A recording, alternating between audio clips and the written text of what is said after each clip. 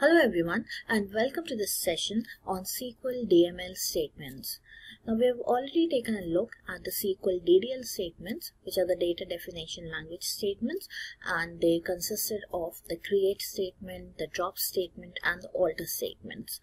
The statements that we're going to take a look at today are data manipulation uh, statements and they're basically any kind of statements that are used to deal with the data that is residing within the tables in the database. So the four statements that comprise of the DML statements are the select statement which is basically used to select or take a look at all the data in the table. Then you have the insert statement which we will use to insert new records in the table. We have the update statement which is used to update or modify any already existing record in the table and then we have the delete statement. So the delete statement as the name suggests is used to delete any data records in the table. So let's start with the select statement. Now we have a table that we're going to use for our demo purpose and that is the DBO employee table. So let's use the select statement and try to see what kind of data resides in this table. So select statement, the simple syntax to use a select statement is use the keyword select, select and you want to see all the data in all the columns of the table. So you can just write select star from and the table name. So the schema name you can give and the table name. So DBO dot and the table name is employee. So you can just give the uh, the table name. Select the statement and execute it and you will be able to see all the data that is present in this table. So you can see that there are 1, 2, 3, 4, 5 and 6 columns. The first name, last name, email address, phone, gender and department name. And there's some data in the table. You can see over here that there are 19 records in this table. Because we use the star here, it displayed the data for all the columns in the table. So this is the complete data that exists in this table. Now, let's say there are a lot of records in the table and therefore this view will not be able to give you a complete picture of all the records. And now we are only interested, we are trying to analyze some particular records. So we want to see only the records where the department name let's say is production. So we can see that there are different departments over here. You have the values of production then you have marketing engineering and so on. So now i want to see only those records where the department name is production. So we can add a clause to the select statement. So we just wrote select star from dbo.employee we can add a clause which is called the where clause. So where this is simply a filter on the data because we only want to see some selected or preferred data. So where the department name, uh, put the column name, so the department name and it would suggest automatically the column name. So you can just select it from here where the department name is equal to and because it's going to be a varchar column therefore we have to enclose any string value within quotes so production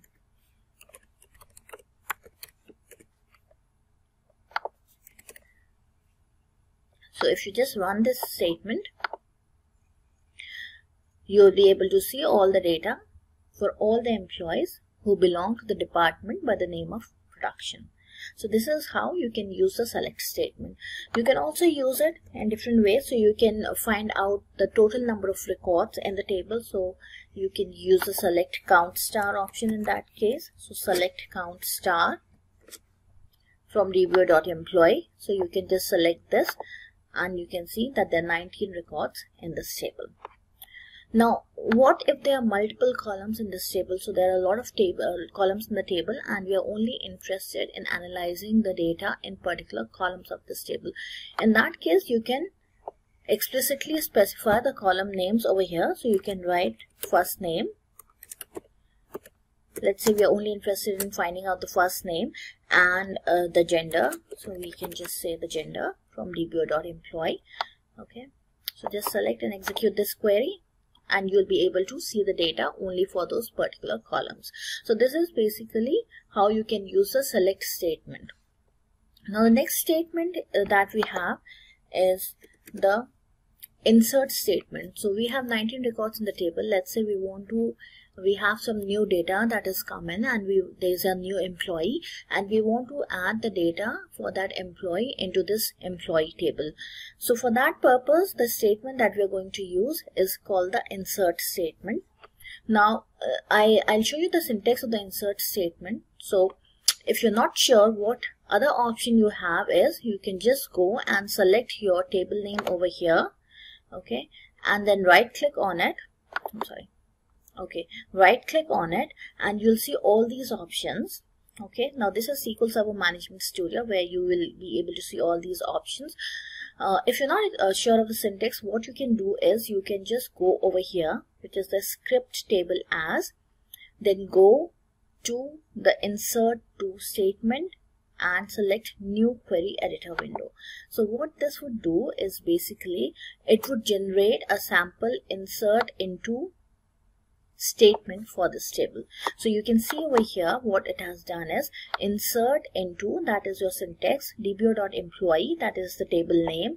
Then you can see that within brackets there are all the column names of this table. So all the columns of this table. Then values.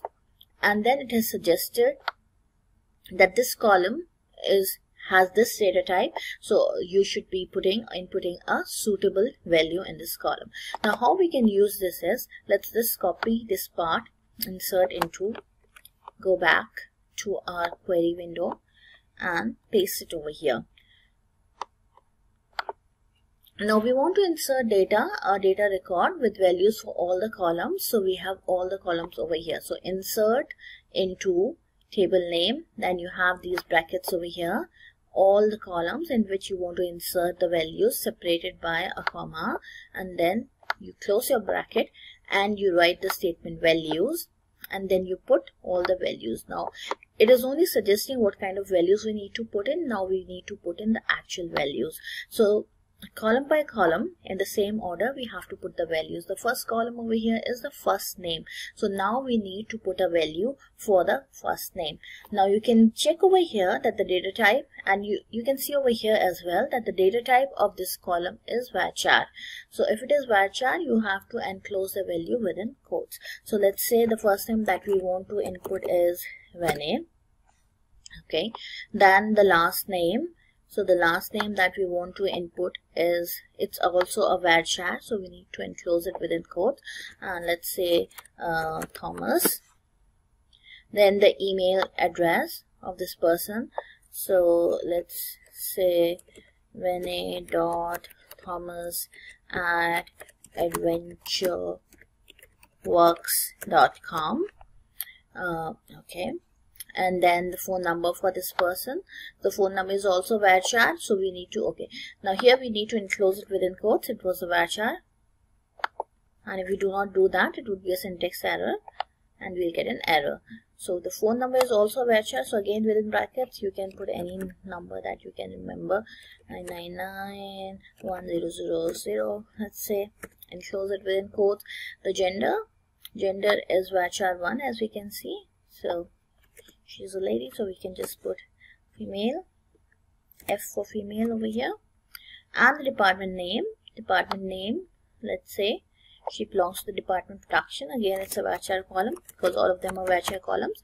We can just put in all the values within quotes. So this is the way we have created our insert into statement. Now let's just execute this and see if this works okay so when we execute this statement the message that we'll uh, see over here is one row affected. Okay so it has performed an operation that was a one row operation but we cannot see how to how to verify that the row has actually been inserted. Again let's go back to the select statement that we learned. So select from your table name which is your dbo.employee and then let's add the where clause. Where so select star let's select everything. Okay. Where uh, okay so we have inserted by the first name Rene. So let's search by that. Where first name. So the column name equal to again within quotes because this is a varchar column. The first name is Rene. Now when you're writing the actual code please remember to put in a semicolon after every statement because that denotes that the statement has ended. Okay. So what you can see over here is that there are two records because we just ran a search on the first name we got two output records. Uh, the one is the one that we inserted Renee Thomas and then there was an already existing record by Renee Lewis. So what if there are multiple records and you want to be sure then you can also have multiple conditions or multiple filters in your where clause so you can use and okay let's say last name equal to Thomas. Now if we run uh, this statement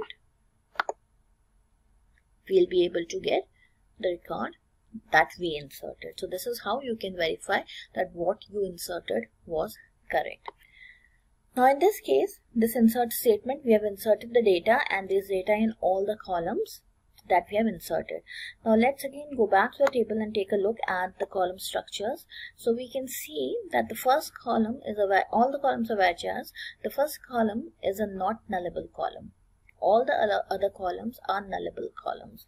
So what this means is that there should always be a value in the first name column because it's not nullable so it will not be able to accept a null value. Whereas the other columns, you can have null values in those columns. So null values is basically a missing value. So what this implies is, let's try another insert statement. So let's copy this and try to create another statement. So let's say we have a new employee who has joined in and now he has not been assigned to a department. His email address is yet to be created and we do not yet have the information of phone number and gender for that employee. So we just have the first name of the employee and then we'll be updating the information later on. So in that case, what we can do is and how we can modify the insert statement is again same syntax insert into dbo.employee which is the table name. Now since we have only the information for one column which is the first name column I'm going to remove all the other columns from here. So now I'm going to insert a value only in one column. And that value would be let's say there's a new employee by the name of Matthew. Okay. And I do not have any other information so I cannot insert it. I'm going to leave all the values as null now let's run this statement again. End it with a semicolon. Run this statement and see if it executes. So again one row affected. So it has executed and we can again check it by creating a select statement. So select star from dbo dot uh, employee where first name equal to Matthew.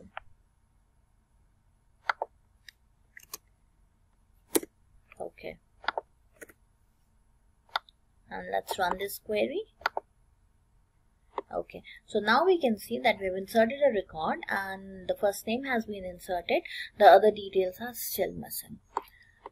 Now this is okay because all the other columns that we had were nullable columns. But what if, let's take another example of the insert statement. What if we created a statement like this? So we have this insert statement over here and let's say we just have the last name of that employee. So we yet do not we do not yet have the first name of the employee. We're not sure of the first name. So we're going to we're trying to insert a record in this table with just the last name value. So last name let's say we are going to insert a value like hopkins. Okay. And let's try to do this. So if you execute this statement you're going to get an error message which says that cannot insert the value null into column first name table demodb.dbo.employee column does not allow nulls insert fails. So the statement has been terminated. So you have to remember that if it's a nullable if it's a non-nullable column in your table you should always be able to provide a value for that column. So only in that case it would work otherwise it will not work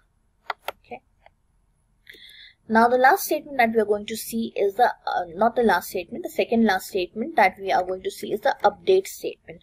Now we inserted a value which we saw for the employee Matthew. So let's run this statement again. And we have just inserted the first name.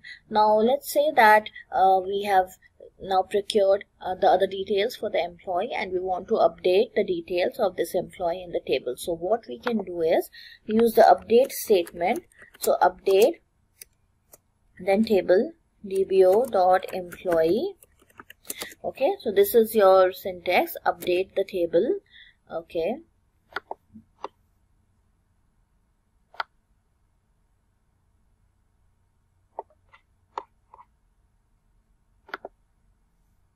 Okay so this is your syntax update the table update dbo dot employee so update and the table name. And then what you need to do is use the command set. That is your keyword set. And now I want to set the value for the last name. So set last name equal to let's say Hopkins in this case. Hopkins. And I also want to set the value of another column which is the email address. So put a comma then the next column name for which you want to set the value email address is equal to Matthew, let's say, dot Hopkins at adventureworks.com. Okay. Now we want to update the value of only that record for which the first name is Matthew. If we do not add a where clause here. Now in this case if we just run this query what this would do is this would update all the records in your employee table and set the last name for all the records to Hopkins and all the email addresses to matthew.hopkins at adventureworks.com but we have to be careful again in this case because we want to update only a particular record. So we have to identify that record. And that record can be identified again by using the where clause where first name equal to Matthew. Okay, so just select this and run this query. Again, you will get the result as one row affected. Let's check if the details have been updated. So let's execute this query. Yes, so the details have been updated. So last name here is Hopkins, email address is this and so on. Okay. So this is how you can use your update statement. Now the last statement is your delete statement. Delete statement is basically simply used to delete any particular data record in your table. So if you write delete from and your table name dbo.employee and just run this, what will happen?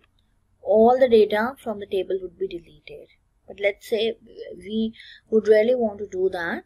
We probably just want to remove some employee records so some employee who does not exist any longer with the organization. So we just want to remove his record. So we have to again identify use a where clause and identify let's say the first name equal to Matthew so we have to make sure that we identify unique record. So if there were, let's say, multiple records with the first name is Matthew, then we should have included the last name and so on. So whatever are the columns in our table which identify unique record, we should provide values for all those columns in this where clause. Okay, to uniquely identify a record. So now if I run this query, Again, we'll see one row affected. And now let's go back to the select statement and let's try to select the record with the first name as Matthew. And now there is no record because the record has been deleted. So these are your DML statements, simple DML statements which you'll be using all the time while trying to fetch the data from the table or manipulate the data from the table. So these are your DML statements and these are the syntaxes which you need to follow. Okay, so this was all for this uh, training session. Thank you for watching.